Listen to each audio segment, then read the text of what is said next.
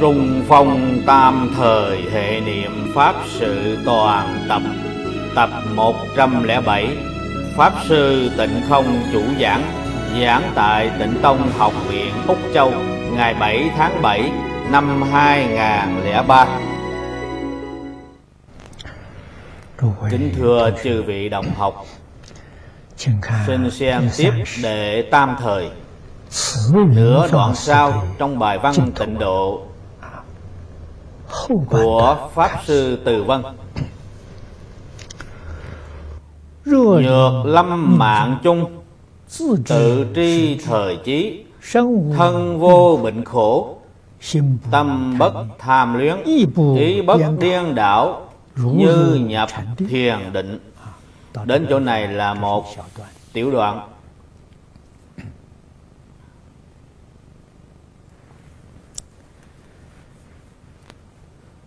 mỗi một người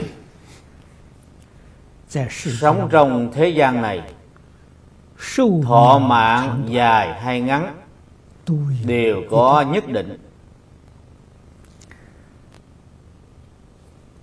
Người phàm phu đều do nghiệp lực làm chủ. Cũng gọi là nghiệp. báo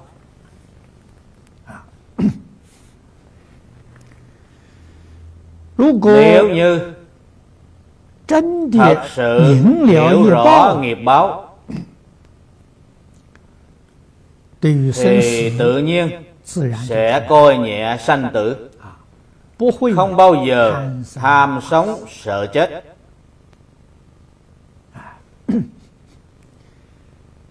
Bởi vì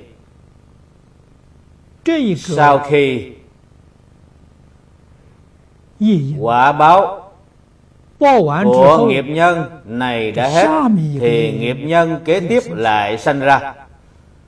Cũng giống như thực vật nở hoa kết trái vậy. Quả nào chín thì rụng xuống trước. Trong quả lại có nhân. Tức trong trái có hột hột là nhân. Nhân rơi xuống đất đất là duyên của hột. Hột lại đâm rễ. Rồi lại nảy mầm. Tương lai lại nở hoa kết trái. đó là quả báo lần thứ hai. Nhân quả tuần hoàn. Vĩnh viễn không ngừng. trong nhân có quả trong quả có nhân chúng ta mà hiểu được đạo lý nhân quả này thì đối với sự sanh tử trong tâm không có kinh sợ chút nào. Quý vị sẽ phải làm thế nào? Quý vị nhất định sẽ trồng thiện nhân trong quả báo lần này. Quả báo lần này giống như một trái đào vậy hiện tại là quả quả bây giờ đã trưởng thành trái đào nhưng nó vẫn chưa chín mùi. Thế nó chín mùi thì rụng xuống. Từ trên cây tự nó rơi xuống. Không cần người hái. Trong trái đào có hột tức là lại có nhân. Một đời tạo cái nhân này nhân này phải tốt. Tạo nhân tốt thì quả báo đời sau càng thù thắng hơn càng tốt hơn. Nếu tạo nhân không tốt thì quả báo không tốt cho nên khi hiểu rõ đạo lý nhân quả rồi tuyệt đối sẽ không dám nói càng làm bậy. Sẽ thường nhớ đến những lời giáo huấn của cổ thánh tiên hiền. Chúng ta hấp thụ kinh nghiệm của họ và trí huệ của họ biến thành trí huệ của mình và biến thành kinh nghiệm của mình. Sáng tạo tiền đồ tốt đẹp của mình trong đời sau. Đây là chính xác. hạng phàm phu trong lục đạo có thể làm được. Nếu là phật bồ tát và a la hán các ngài là những bậc chánh giác. Ứng hóa trong thế gian này. À, các ngài không phải do nghiệp lực mà là nghiệp mà là nguyện lực của các ngài. Các ngài ứng hóa trong thế gian này không có gì không có chuyện gì khác. Các ngài không có thọ quả báo các ngài đến để giáo hóa chúng sanh đến để biểu diễn hát tù đến làm gương cho tất cả chúng sanh à, giúp cho chúng sanh đoạn ác tu thiện phá mê khai ngộ. Lìa khổ được vui siêu phàm nhập thánh. Các ngài làm gương cho tất cả chúng sanh xem vậy thì các ngài sống trong thế gian này có thọ mạng hay không? cũng có thọ mạng. Thọ mạng nhờ vào đâu? nhờ vào duyên. Duyên tức là hiện nay chúng ta nói các ngài đang ở chỗ nào? Diễn nói biểu diễn thuyết pháp có người tiếp nhận hay không có người thích nghe thích học tập hay không? nếu như có thì là có duyên. nếu như không có thì là hết duyên. tức duyên đã hết thì các ngài ra đi. Có duyên thì trụ thế không duyên thì lìa khỏi. Thì ẩn mất đi đến thế giới khác. Chúng ta cũng biết vũ trụ rộng lớn bao la có vô lượng vô biên thế giới. các ngài được đại tự tại. Thế giới nào có duyên thì đi đến thế giới đó. Các ngài không có nghiệp.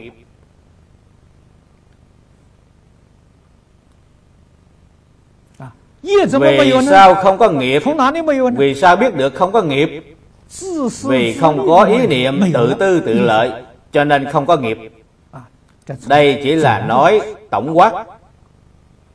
Người nào mà không có ý niệm tự lợi, cũng không có ý niệm tự tư, thì họ không có nghiệp.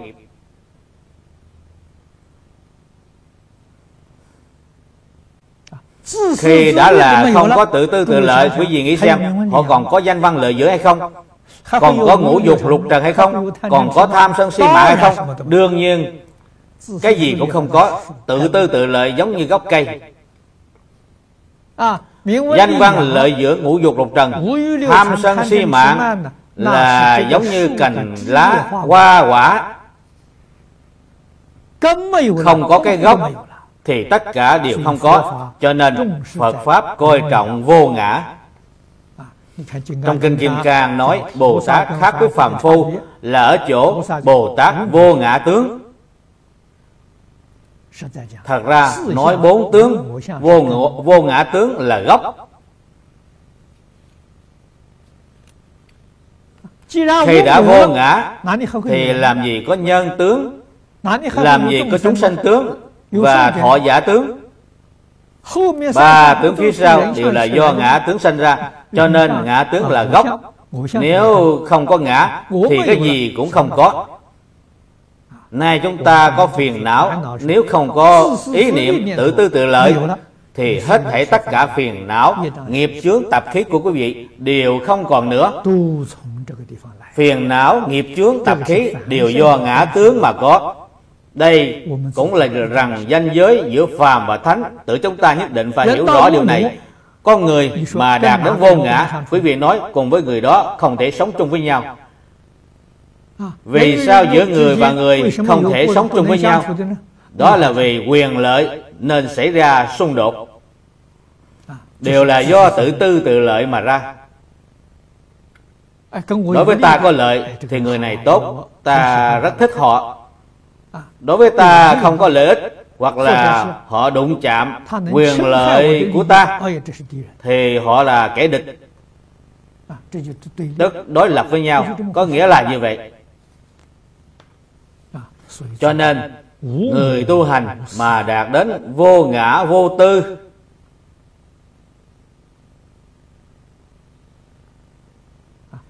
thì họ sẽ chuyển phiền não thành bồ đề. Chuyển nghiệp lực thành nguyện lực. Do nguyện lực ứng hóa trong thế gian này nên họ rất tự tại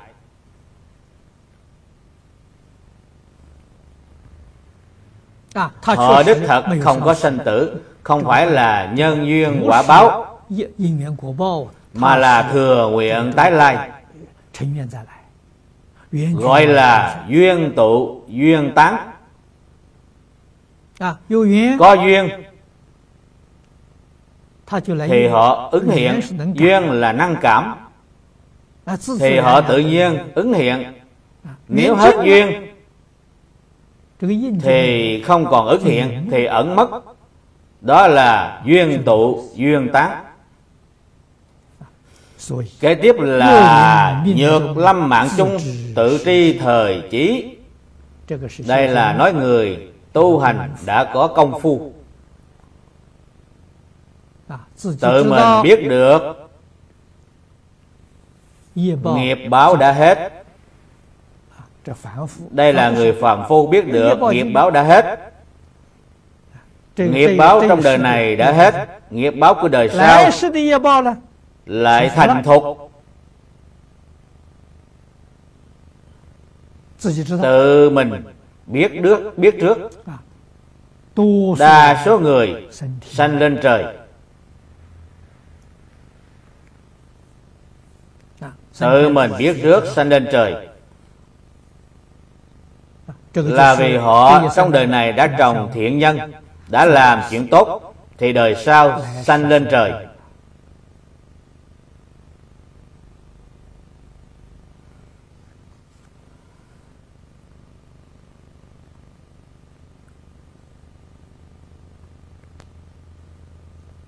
Nếu là thừa nguyện tái lai Đương nhiên thì không có vấn đề. Cảnh giới đó càng cao hơn Ở chỗ này quá duyên đã hết Thì họ đến ứng hóa trong thế giới khác. Thật tại mà nói Phạm vi ứng hóa là khắp pháp giới hư không giới. Thân ứng hóa vô lượng vô biên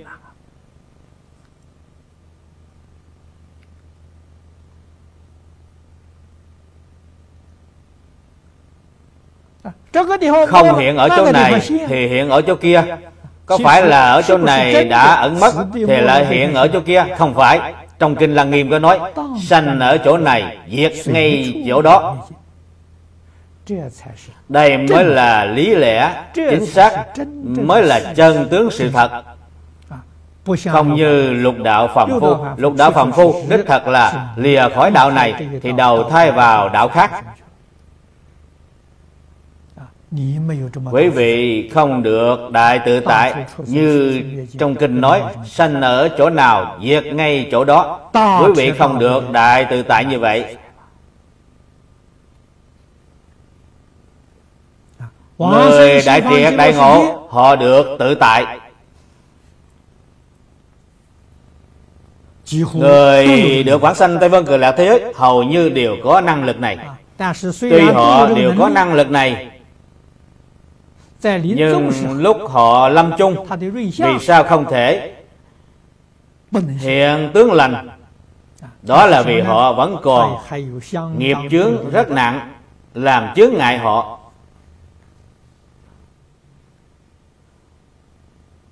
Cho nên lúc hộ niệm chúng ta thường thấy như vậy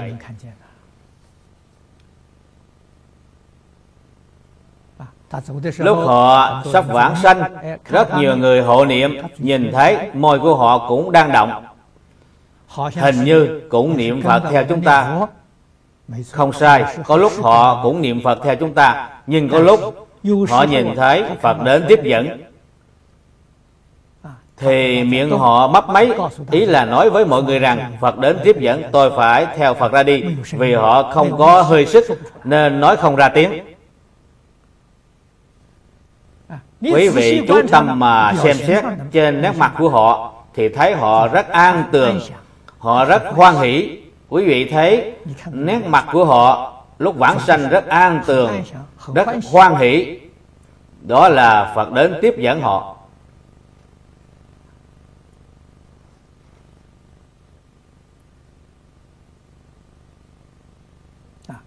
nhưng cũng có lúc họ đã ra đi mà nét mặt của họ không tốt. Mọi người vẫn còn hộ niệm tiếp tục niệm được hai ba tiếng sau thì thấy nét mặt của họ thay đổi rất tốt. Bên trong có hai lý do. Một là họ đã vãng sanh. Hai là nghiệp chướng của họ đã tiêu trừ. Nghiệp chướng đã tiêu trừ. Tuy họ không được vãng sanh. nhưng họ chắc chắn được sanh vào thiện đạo. Cho nên công đức hộ niệm không thể nghĩ bàn. Ngày nay có khoa học làm chứng minh hiệu quả của sự hộ niệm. Đây là sự thật, không phải giả.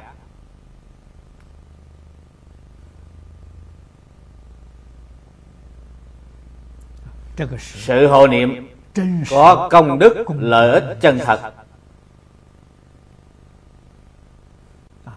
Nếu gặp được cơ duyên như vậy không thể bỏ qua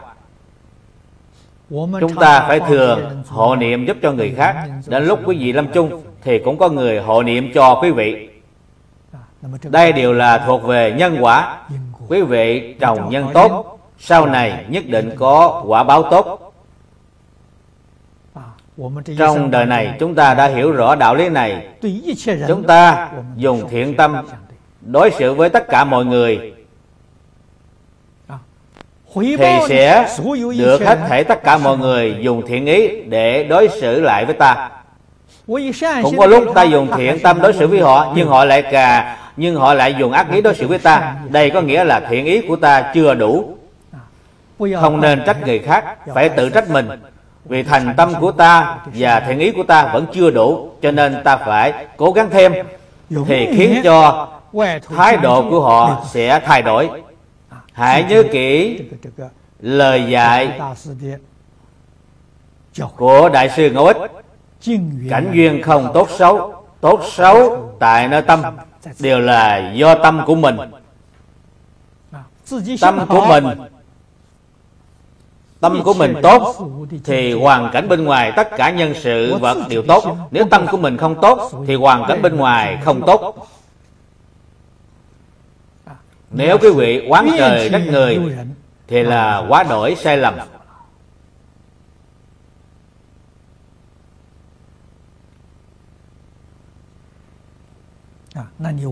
Quý vị hoàn toàn là mê mà không giác.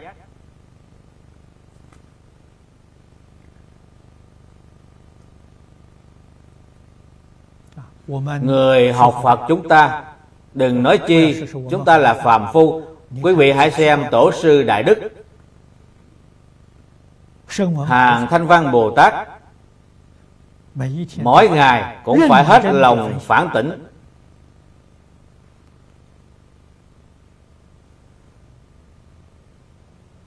Sửa đổi lỗi lầm của mình. Bậc đẳng giác bồ tát mỗi ngày cũng phải sửa lỗi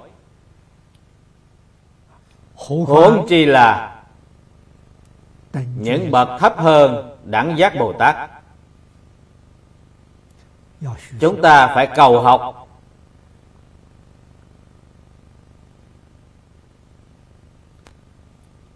Phải khiêm tốn phải cung kính phải biết tôn trọng người khác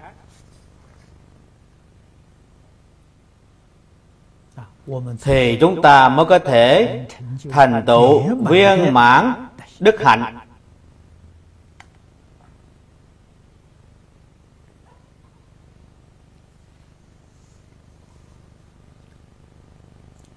Trong xã hội, bất luận pháp thế gian hay xuất thế gian, việc tốt thì nhường cho người khác.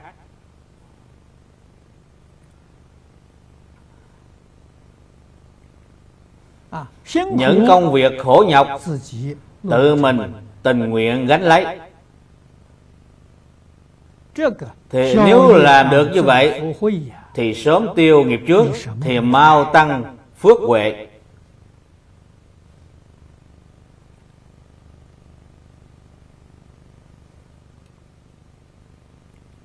Kế tiếp là thân vô bệnh khổ Tâm bất tham luyến Ý bất điên đảo Như nhập thiền định.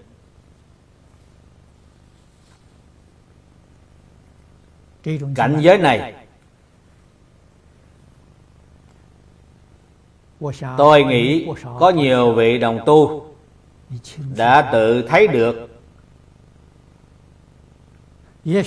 Có thể đã thấy được nhiều lần quý vị đã thấy được có giác ngộ hay không? Họ làm được. Thì ta cũng làm được. Ta hy vọng ta làm còn hay hơn họ rất nhiều. Lúc sắp mạng chung đích thật không có bệnh khổ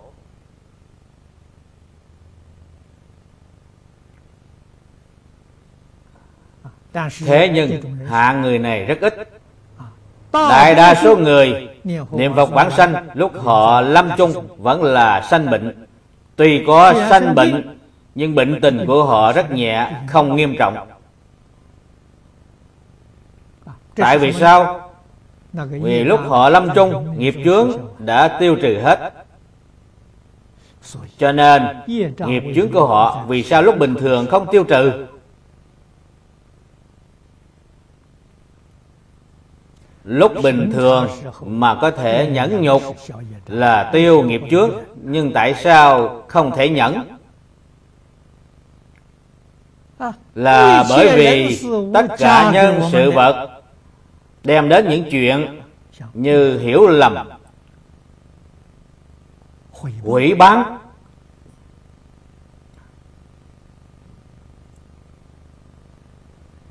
Tinh thần vật chất trong hoàn cảnh gian nan.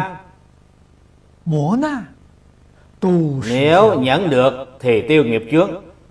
Rất hoan hỷ mà gánh chịu.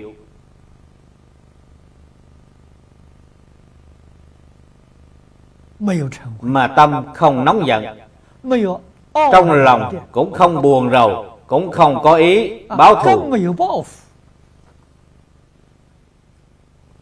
trong cuộc sống hàng ngày, phải huấn luyện như vậy, thì quý vị lúc sắp mạng chung sẽ không có bệnh khổ.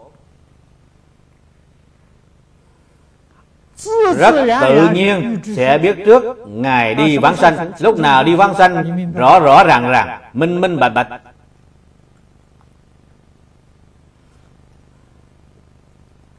Chúng ta sống trong thế gian này khi khởi tâm động niệm. làm việc gì? Đều là vì lợi ích cho chúng sanh. Chúng ta niệm câu phật hiệu này. Đem công đức lợi ích của câu phật hiệu này.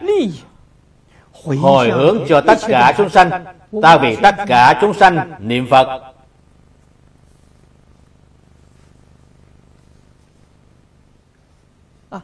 bây giờ ta phải nghĩ đến nhất là những oan thân cái trụ nhiều đời nhiều kiếp của ta. Ta phải thường nghĩ đến họ.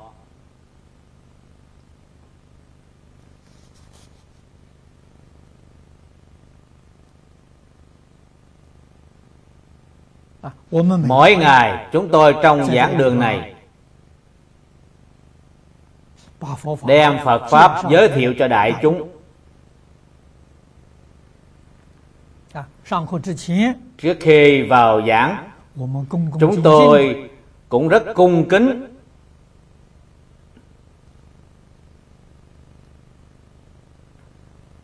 Mà quán tưởng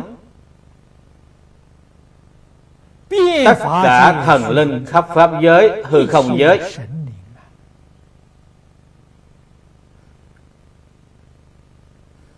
cũng quán tưởng tất cả thần hoàng thổ địa tôn thần. cõi này phương khác. Trong bài kệ hồi hướng có nói nguyện đem công đức này trang nghiêm phật tịnh độ. Trên đền bốn ân nặng dưới cứu khổ tam đồ.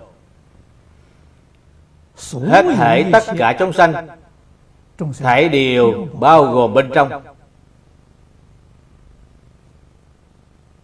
chúng tôi vì họ mà giảng kinh thuyết pháp không vì lợi ích cá nhân mình. Tại vì sao? Vì tự mình và pháp giới chúng sanh là một thể. Niệm niệm đều vì pháp giới chúng sanh. Không có nghĩ đến cá nhân mình. Điều này vô cùng quan trọng. Tại vì sao vì nếu nghĩ đến cá nhân mình thì chưa đoạn tự tư tự lợi. Thì chưa phá ngã chấp.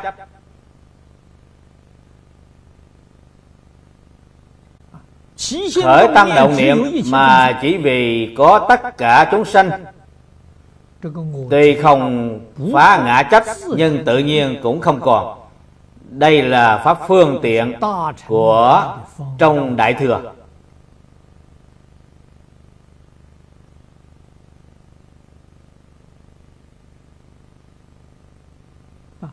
Mọi người nên biết phá được ngã chấp thì luân hồi không còn nữa. Đời sau chúng ta sanh về đâu? Tuyệt đối không bao giờ lại đọa vào lục đạo luân hồi.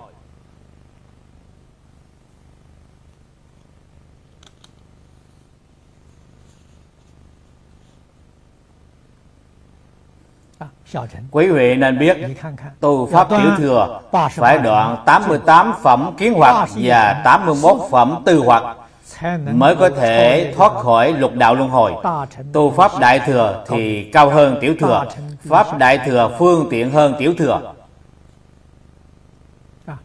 Tiểu thừa phải dùng phương pháp khó nhọc Tu khổ hạnh Phải trải qua thời gian rất dài Bảy lần lên xuống cõi trời và nhân gian Mới được ra khỏi lục đạo luân hồi.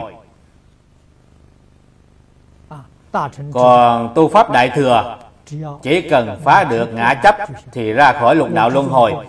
Phá ngã chấp bằng cách nào? Từ tư tưởng từ khởi tâm động niệm cho đến tất cả hành vi cuộc sống hàng ngày không vì cá nhân mình, mà chỉ vì chúng sanh. Khẳng định chúng sanh tức là mình mình tức là chúng sanh. Ta và họ là một, không phải hai. Cho nên đại thừa thì nhanh chóng hơn tiểu thừa. Thù thắng hơn nhiều. Nếu chỉ vì cá nhân mình Thì là ngu si.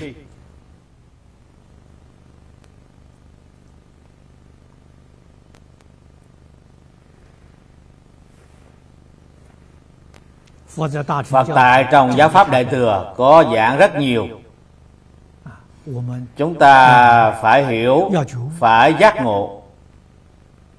Quyết định Không vì cá nhân mình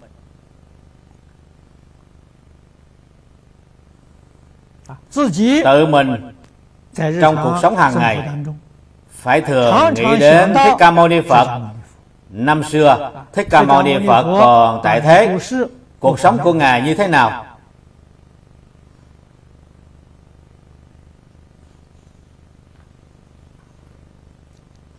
Cuộc sống của ngài chỉ có ba y một bát ban đêm ngủ dưới gốc cây một ngày ăn một bữa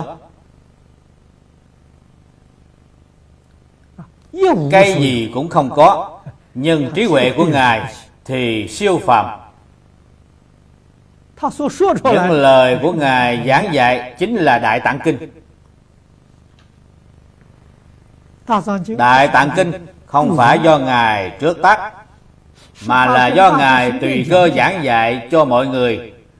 Rồi ghi chép lại thành một bộ Đại Tạng Kinh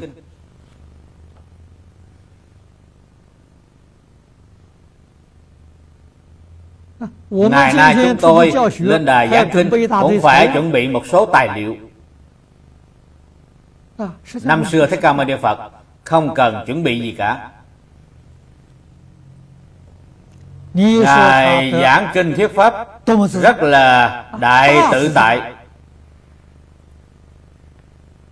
Chúng ta phải nên học điều này. Trí huệ của ngài do đâu mà có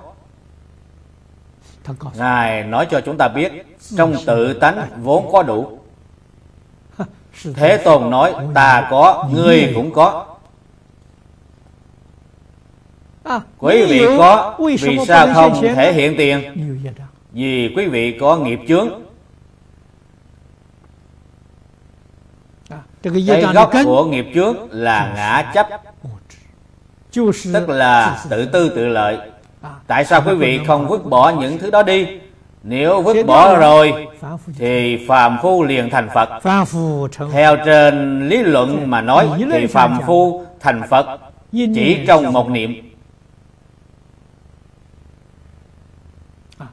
Một niệm quả nhiên giác ngộ triệt để giác ngộ thì phàm phu thành phật.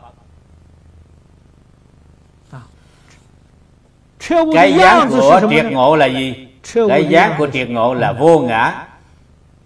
Không những vô ngã mà cũng vô pháp.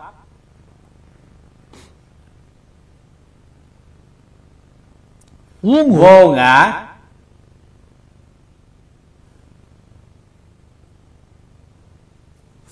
Thì đã giải thoát phiền não.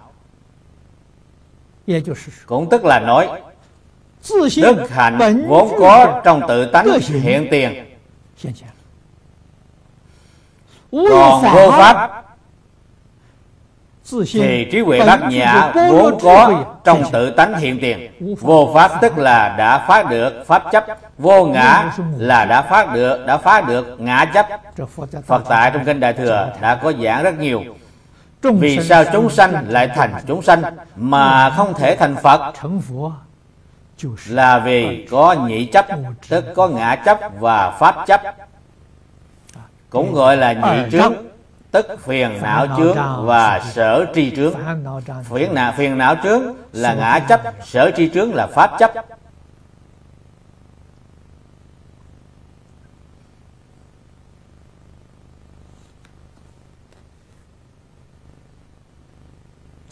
cho nên phá được ngã chấp thì đức hạnh viên mãn. Phá được pháp chấp thì trí huệ viên mãn.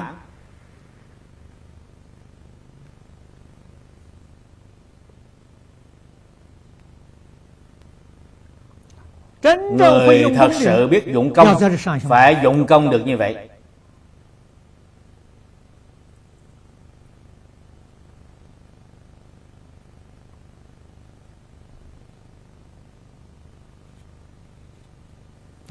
thì công phu được thành tựu. Đúng như đại sư từ vân đã nói ở chỗ này. Đây là hiện thần thuyết pháp chứng tỏ công phu đã được thành tựu.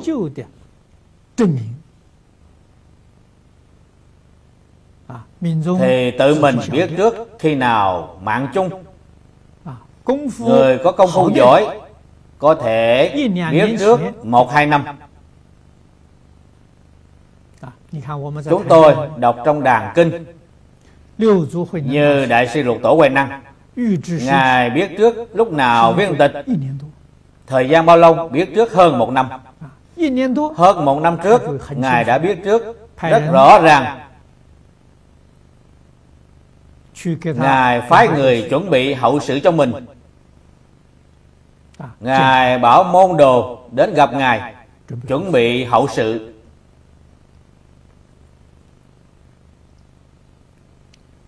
Trước kia lão cư sĩ lý bỉnh nam.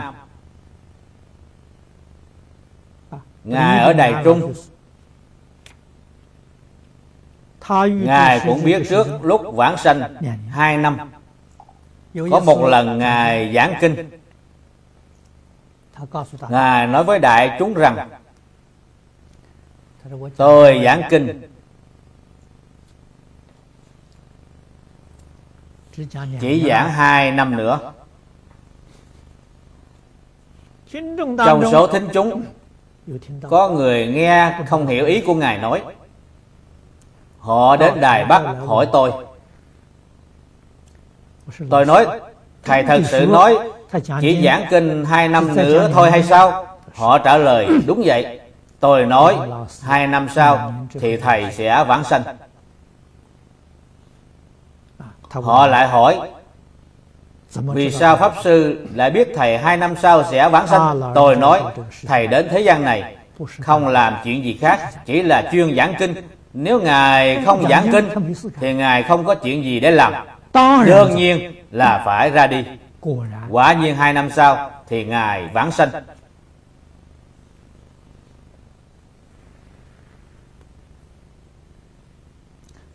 Tâm địa của Ngài thanh tịnh. Nghiệp chướng đã tiêu trừ. À, cho nên ngài sớm biết rõ như vậy. Thông thường chúng tôi thấy người niệm phật có thể biết trước khoảng 3 tháng à, hoặc hai tháng hoặc một tháng là chuyện thường thấy. À, họ nói với quý vị biết.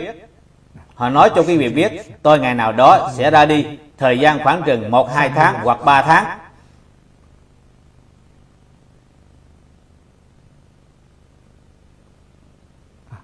đúng ngày đó thì họ ra đi như lão lâm trưởng trần quang bịch trần quang biệt cư sĩ ờ, cư sĩ lâm tăng gia ba. Ông biết trước ba tháng ông xác định ngày nào tháng nào đi vãng sanh. Không có sai chút nào.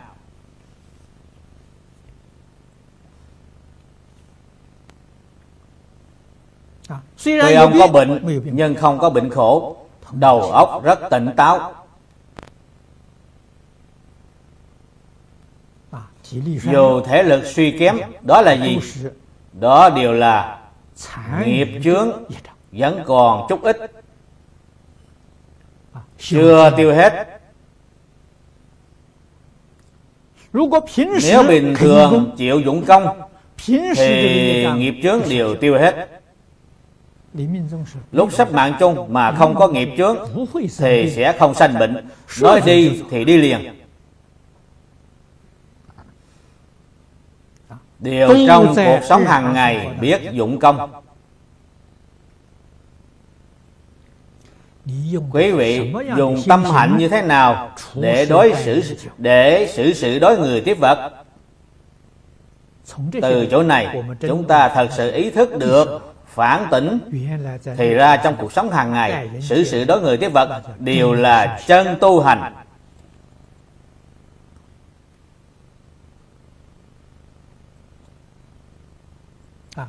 cho nên chúng tôi thường nghe nói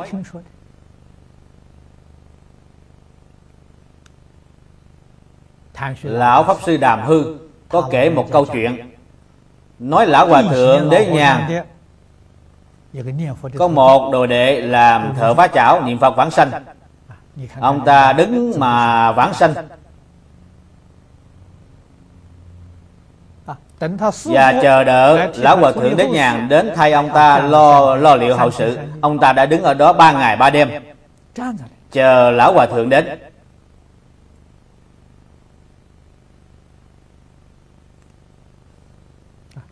Chuyện này không phải giả. Là chuyện có thật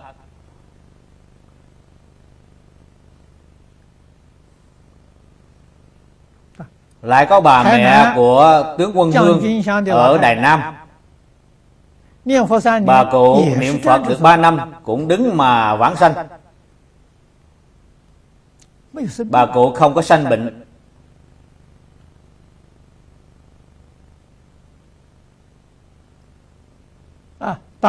Câu chuyện này khoảng khoảng 20 năm trước hoặc 21 22 năm trước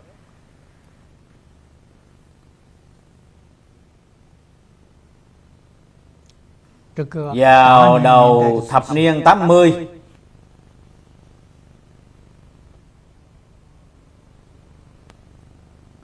Vào năm 1983 Tôi giảng kinh tại cụ Kim Sơn.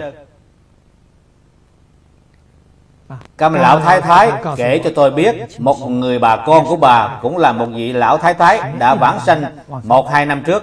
Bà cụ ngồi mà vãng sanh. Bà cụ không có bệnh gì cả.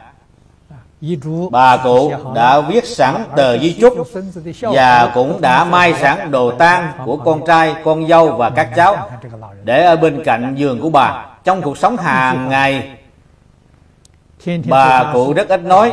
Mỗi ngày lo công việc trong nhà Chăm sóc mọi người. Con trai, con dâu đi làm Các cháu đi học Bà cụ ở nhà một mình coi nhà. Bà cụ rất hết lòng niệm Phật công phu không gián đoạn. Bà thật sự đã thành công. Những người niệm Phật như vậy Họ vì người khác thị hiện. Bà cụ thật sự đã làm được. Họ trì độc tụng vì người khác diễn nói. Tuy bà không có nói Nhưng bà cụ biểu diễn tức là nói. Bà cụ làm cho quý vị thấy Quý vị thấy bà cụ niệm Phật vãng sanh Và chăm sóc trong lo công việc trong nhà Không có trở ngại chút nào. Nếu bà cụ không biết trước ngày vãng sanh Thì bà cụ thì bà làm sao may sẵn đồ tang cho con trai con dâu và các cháu? Có nghĩa là nói bà đã lo được một nửa chuyện hậu sự. Bởi vì ở ngoại quốc không có người may đồ tang. Đến lúc đó đi đâu mà tìm cho nên bà đã chuẩn bị trước. Bà cũng không hề nói với ai. Buổi sáng hôm đó, đột nhiên người trong nhà phát hiện bà đã vãng sanh rồi. Bà ngồi xếp bằng trên giường.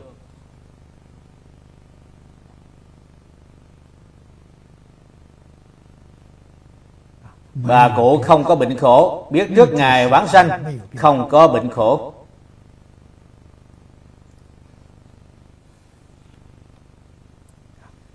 Kế tiếp là tâm bất tham luyến Ý bất điên đảo. Hai câu này rất là quan trọng. Nghĩa là thế nào? Thật sự đã buông bỏ được. Thật sự mà buông bỏ được Là lúc bình thường. Tức ngay bây giờ phải buông bỏ Còn phải đợi lúc nào quý vị mới chịu buông bỏ? Vì sao lúc lâm chung? Quý vị lại sanh bệnh. Vì quý vị không chịu hoàn toàn buông bỏ. Nếu hoàn toàn buông bỏ được Thì làm sao có sanh bệnh?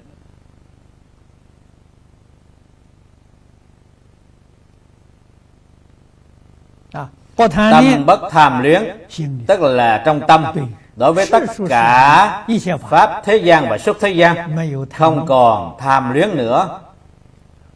Không còn nóng giận nữa. Trong tâm sáng suốt rõ ràng tức là không ngu si. À, ý bất điên đảo tức là không ngu si.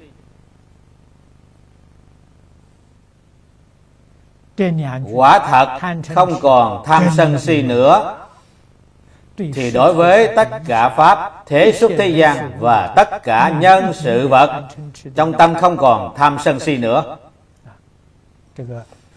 trong Phật pháp thường gọi là nhìn thấu buông bỏ.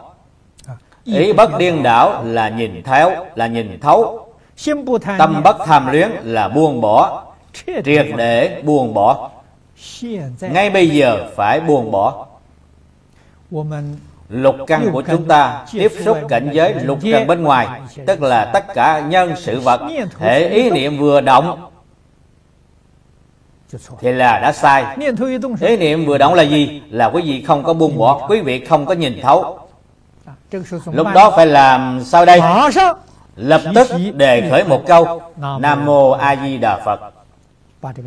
Đem ý niệm đó đè xuống tức chế phục.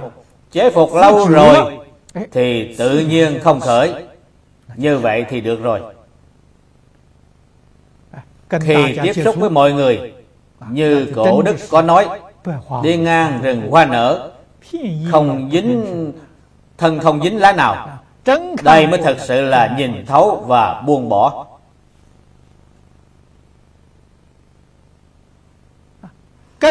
Cư xử với mọi người đều tùy duyên đối xử với chúng sanh điều quan trọng nhất là phải làm lợi ích cho chúng sanh. Là phải vì chánh pháp trụ lâu dài. Nếu như không làm lợi ích cho chúng sanh, không phải vì chánh pháp trụ lâu dài, dù có đi tham dự bất cứ hoạt động nào cũng không có lợi ích gì。dù quý vị không phải cầu danh văn lợi dưỡng cũng không phải tham muốn ngũ dục lục trần。trong xã hội này có rất nhiều hoạt động。tuy quý vị đi tham dự có lợi ích gì hay không không có lợi ích。cho dù từng trải công phu công dụng trong tu hành thật sự tu hành chính là rèn luyện bản thân. luyện như thế nào? luyện tân luyện tâm không tham luyến ý không điên đảo. luyện như vậy gọi là luyện công. Luyện công cũng là làm lợi ích cho chúng sanh. Như nhập thiền định đây là thành tích.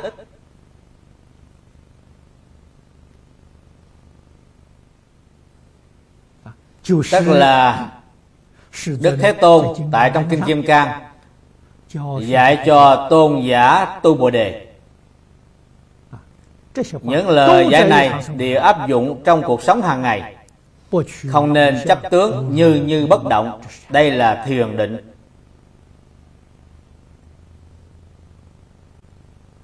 Một người lúc sắp mạng chung cũng là như như nhập thiền định biểu diễn cho mọi người thấy thì giống như lúc bình thường ngồi xếp bằng nhập định vậy. Nhưng lúc bình thường ngồi xếp bằng nhập định thì họ sẽ xúc định. Tức là họ có nhập định sẽ có xúc định. Nếu họ nhập định mà không xúc định thì họ đã ra đi rồi.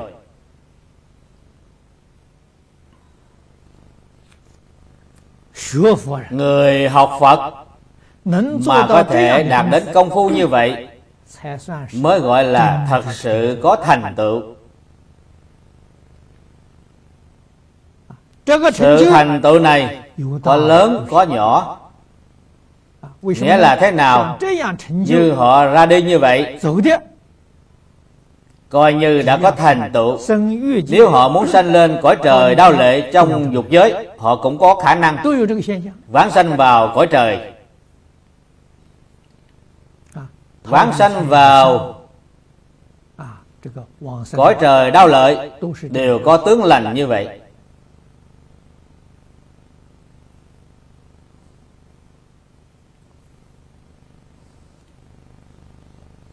Còn người niệm phật thì thù thắng hơn. Người niệm phật lúc vãng sanh nếu có tướng lành hiện ra thì chắc chắn là phật cập thánh chúng thủ chấp kim đài. Lai nghênh tiếp ngã, ư nhất niệm khoảnh, sanh cực lạc quốc.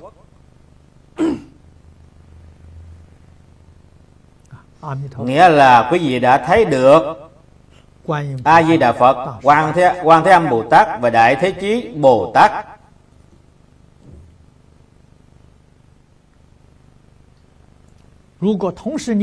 Nếu như đồng thời thấy được vô lượng chư phật đây là thượng thượng phẩm vãng sanh.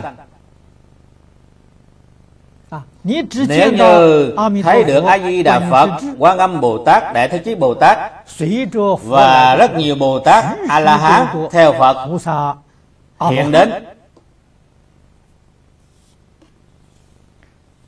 đều được vãng sanh vào cảnh giới thượng bối.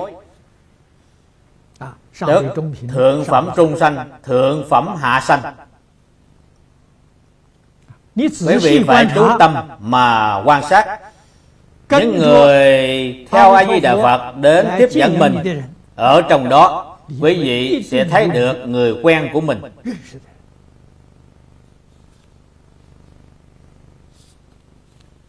những người đó không ai xa lạ. Họ đều là những vị thiện tri thức mà quý vị trong đời này đã từng thân cận với họ. họ thật sự đã vãng sanh trước.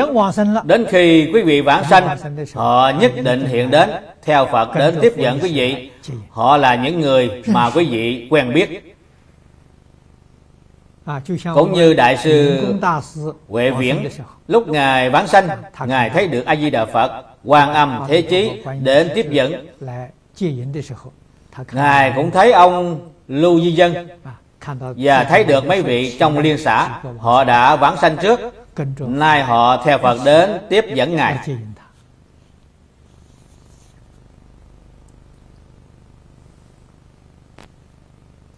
lúc đó ông lưu di dân nói đùa với ngài rằng chúng tôi đều theo đại sư học phật. Chúng tôi đã về cực lạc thế giới trước. Bây giờ đại sư mới về. sao mà chậm quá vậy? Cho nên tôi thường nói về đến cực lạc thế giới mới thật sự có bạn thân thiết mới thật sự có bạn tri giao về đến cực lạc thế giới không có vắng vẻ còn sống ở trong thế gian này cổ nhân thường than rằng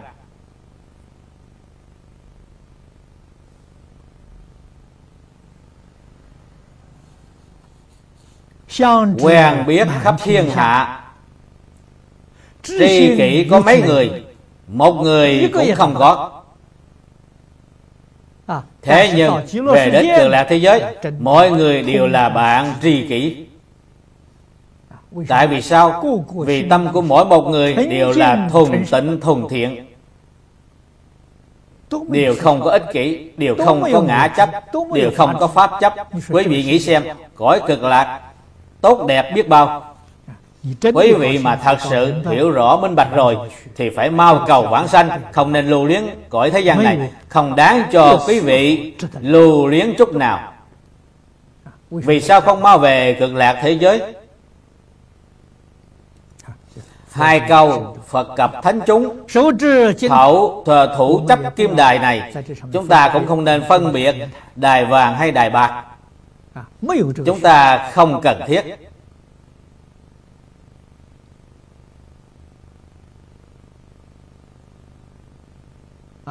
vào đời nhà đường có thiền sư hoài ngọc ngài niệm phật lúc lâm chung thấy phật cầm đài bạc đến nhưng ngài không khoan hỷ.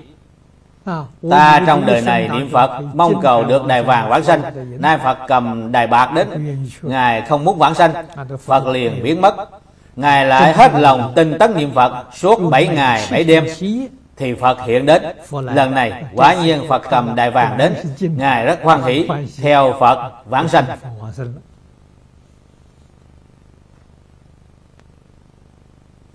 những người có công phu như vậy theo tôi nghĩ đều là vì chúng đều là vì chúng ta thị hiện. Thế nhưng chúng ta cũng không nên cố chấp như vậy. Đài bạc cũng khá lắm rồi. Hà tất nhất định phải đài vàng. Không nên chấp trước như vậy.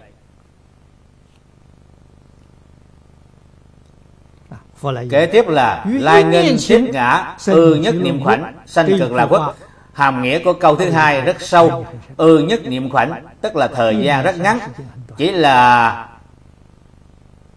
chỉ là một cái búng tay. Cực là thế giới, cách cõi này của chúng ta bao xa? Cách xa mười vạn ức cõi phật. Câu này nói trong khoảng một niệm, tức là không có xa gần, hay nói cách khác quý vị thấy phật hiện đến lúc phật đến tiếp dẫn quý vị thì trước tiên Phật phóng quang chiếu đến quý vị. Phật quang chiếu đến tức là Phật lực gia trì cho quý vị giúp cho công phu của quý vị được nâng cao một bậc. thí như công phu niệm Phật của chúng ta là công phu thành phiến được lên được nâng cao một bậc là sự nhất tâm bất loạn. Nếu chúng ta niệm đến sự nhất tâm bất loạn thì được nâng cao một bậc là lý nhất tâm bất loạn cho nên đại sư la thập dịch trong kinh a di đà là nhất tâm bất loạn tâm bất điên đảo. ngài dịch không có sai. Thế nhưng trong nguyên bản của Phạn Văn là nhất tâm hệ niệm Nhất tâm hệ niệm là không có nói Phật lực gia trì. Lúc sắp mạng chung nhất định sẽ được Phật quang chiếu đến chiếu đến gia trì. Nhờ được Phật lực gia trì Thì công phu của quý vị nâng cao một bậc. Được nâng cao lên một bậc là nhất tâm bất loạn.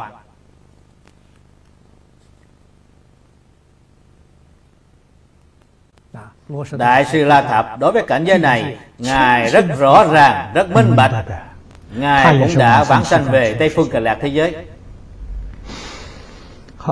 Bây giờ thời gian đã đến